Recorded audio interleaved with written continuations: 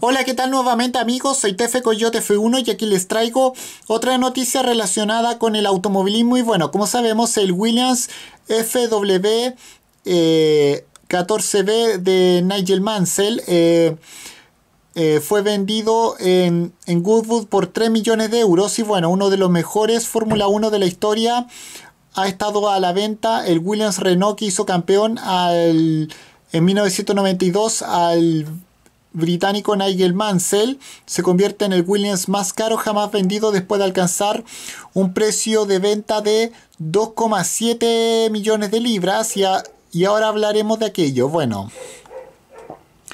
este fin de semana, bueno, se, ya se ha celebrado uno de los eventos de motor más importantes del calendario internacional y como no podía ser de otra manera, lo hace en suelo inglés.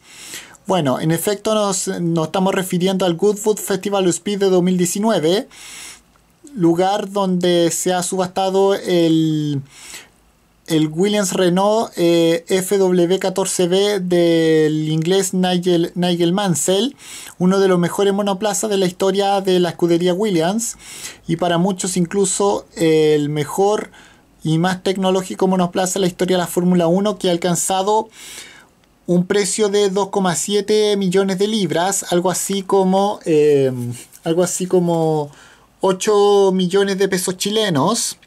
Y bueno, y para, acabar, para terminar vendido en un a un comprador anónimo descrito como un coleccionista privado de renombre. De esta forma, estamos ante el Williams más caro antes, jamás antes vendido.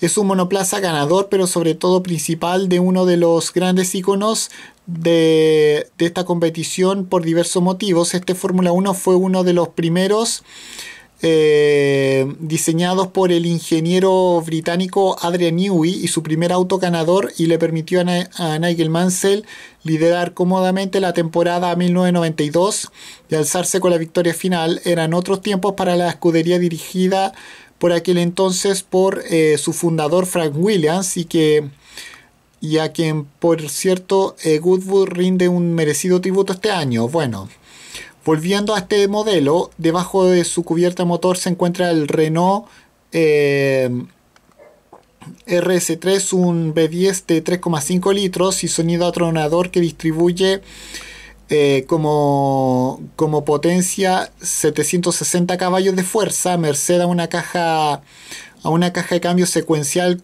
de 6 velocidades y bueno, se, pero seguro que se están preguntando cuenta este monoplaza que se subasta en, un, en la famosa suspensión activa que le permitía autonivelarse las curvas y avetejar a todos sus rivales. Bueno, es así y como no podía ser de otra manera. Bueno, según lo que se lee en el medio Von Hams, eh, la casa de subastas que se, encargó de la comercialización de este modelo, se habla de un automóvil meticulosamente conservado con el que Mansell disputó seis carreras y su compañero el italiano eh, Ricardo Patrese 7 eh, de las manos de Williams pasó a, las de un coleccionista privado que lo ha mantenido todo este tiempo y que ahora ha decidido deshacerse de él.